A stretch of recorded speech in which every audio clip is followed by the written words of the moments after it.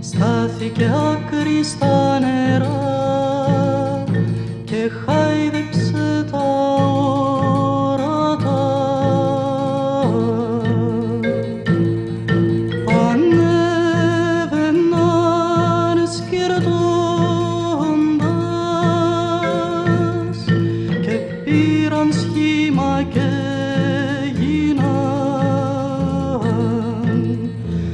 βράχημα βγει στην αμμουδιά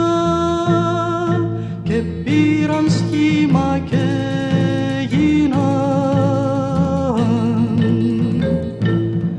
Βαθιές σπηλιές ανέμουν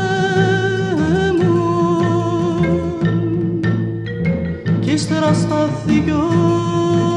Θεός στα ανοίγμα της κοιλάδας